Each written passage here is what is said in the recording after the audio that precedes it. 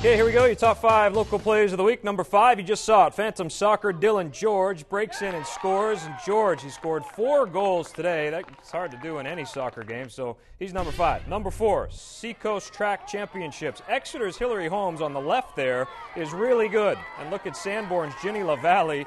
She cruises by and wins the 100 meter hurdles. She's going to UNH. Hillary Holmes just a junior.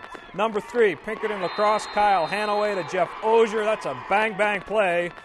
We'll slow it down for you here. Pinkerton, they beat BG 8 to 7 the final. Number 2, Southern Connecticut State, the pitcher Ryan Urena with the nice backhanded stab here and then he throws out the runner from his butt. That's a nice play. Number 2. Number 1, final out for Portsmouth against Pembroke earlier this week, giving the Clippers their 76th straight win, a national record. The streak has spanned 4 years with 42 different players contributing. That is amazing stuff. That is amazing stuff. Yeah.